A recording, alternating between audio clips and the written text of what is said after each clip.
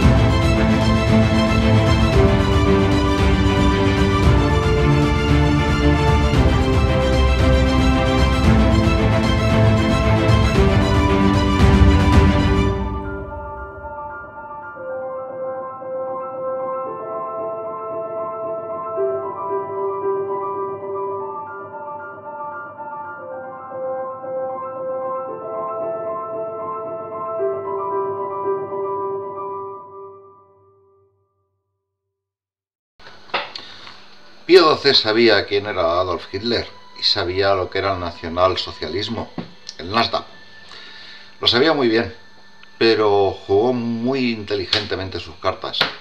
Sabía que Italia ocupada por el nacionalsocialismo, eh, donde entraban muy pocas posibilidades para poder hacer declaraciones contundentes en los medios de comunicación, como así le reclamaba la opinión pública mundial y toda la cristiandad parecía que el Papa no parecía, guardaba silencio y, no no condenaba taxativamente todas las atrocidades. Es por ello que los lobos que están siempre sedientos de denostar a la Iglesia se echan encima, lógicamente, como siempre, como es habitual, y juzgan las actuaciones del Papa como, pues, casi de complicidad con el Tercer Reich. Lo cierto es que desde el Vaticano eh, se guardó silencio, pero por una prudencia y evitar lo que Hitler también tenía en la cabeza, eh, que era secuestrar al Papa Pío XII y llevárselo a un castillito en Alemania. Hitler odiaba a los cristianos, igual que a los judíos. Hitler no profesaba una, un dogma de fe eh, donde el amor, eh, el, ser compasivo, jugase un primer papel principal como baluarte de, de una fe o de un dogma. Muy al contrario, eh, Hitler se asqueaba de la cristiandad, del Vaticano y de los eh, creyentes cristianos. Muchos fueron a campos de concentración también, no solamente judíos, y fueron voluntariamente para acompañar a las personas que sufrieron eh, y padecieron las cámaras de gas, tortura, experimentos, etcétera, etcétera, etcétera.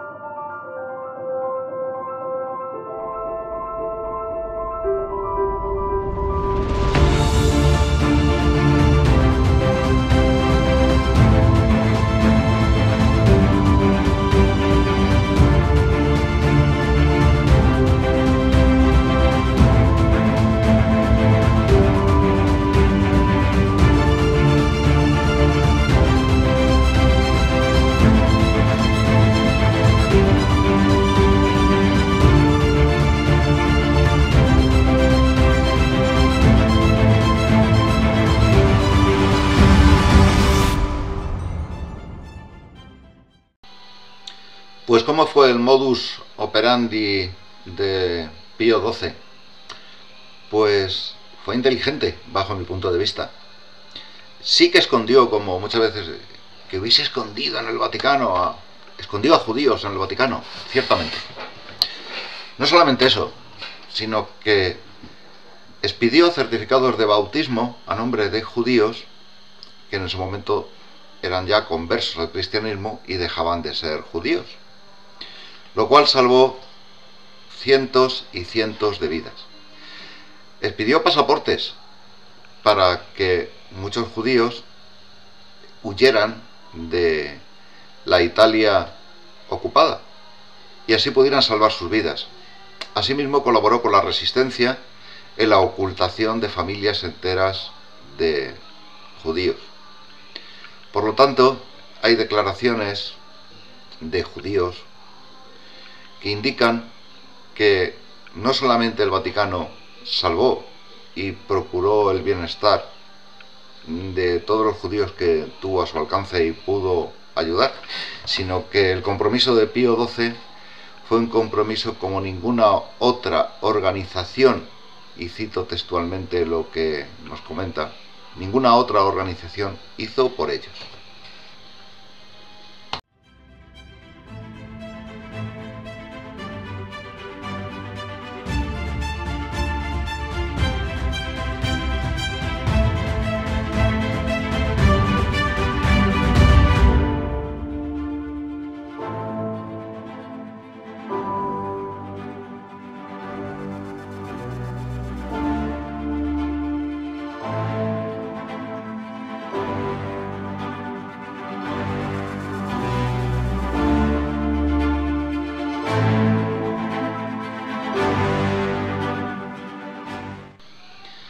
Decía Goebbels, repite mil veces una mentira y se convierte en verdad. Bueno, eso lo estamos viendo en España, con muchísimos temas, mucha actualidad, con otros pasados. Y la estrategia de mentir y repetir una mentira hasta que la gente se la cree, pues está muy bien elaborada en los tiempos que corren. con muchas películas, ¿verdad? Donde siempre aparece una iglesia despótica, inquisitorial, torturadora, mentirosa, pervertida, frente a un pueblo oprimido que sufre la tiranía de la iglesia, su dejadez, desdén, olvido. Y no quiero decir que todo, todo, absolutamente todo lo que comprende la iglesia católica desde su comienzo hasta hoy es bueno. No todo está bien hecho. No todo es cierto. No todo es eh, heredero de la palabra de Dios. Por supuesto que no. Pero no es necesario añadir mentiras. No porque eh, lo que se pretende con esto no es dañar únicamente la imagen de la Iglesia Católica de Roma. Es que la gente por simbiosis asocia Roma, el Papa, el Vaticano, con que el dogma de Dios, dogma cristiano, es falso. Entonces, el tergiversar y mentir acerca de la Iglesia tiene también una raíz, un propósito y un fin. No el de la información, no el de dar un punto de vista diferente. Porque amigos, la historia es lo que es. No podemos, por intereses, intentar modificarla, cambiarla y reescribirla a nuestro gusto y nuestro parecer. Porque resulta muy incómodo el leer cosas tergiversadas y escuchar de personas que uno quiere, como es mi caso, que la información ha llegado como ha llegado. No tiene la culpa tampoco la gente que está confundida, de que la confundan. Sí estaría, eh, de alguna forma, haciendo el lelo, el que le engañan una vez, el mismo, y le pretende engañar dos, tres y cuatro, o todas las veces sucesivas que, considere. Por ello, hago este programa. Voy a terminarlo con un par de vídeos más que son de mucho interés de la actuación cristiana durante la Segunda Guerra Mundial. Eh, en específico, pues también las barbaridades que ocurrieron en la Polonia ocupada por el Tercer Reich, donde el propósito de Hitler era también acabar con todo el clero existente allí. Hitler sabía que la fe en Dios, y en Alemania había muchos creyentes también, en la Wehrmacht, podía impedir que alguien con una pistola o un rifle, con una cámara de gas y un botón para apretar, múltiples maneras de asesinar, lo hiciera por su fe. Entonces era también el obstáculo que había que eliminar, el evitar que la gente piense, tenga sentimientos, tenga fe y espiritualmente pueda llegar a negarse a cumplir las órdenes de sus amos. Eso también ocurre hoy.